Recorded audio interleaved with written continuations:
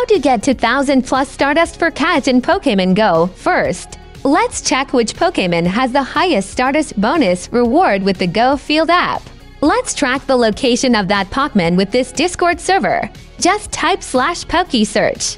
Audino.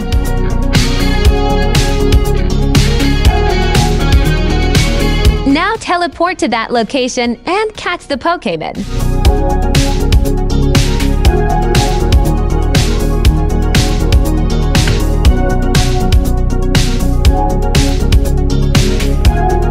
After catching the Pokemon, you will get more than 2000 Stardust as a reward.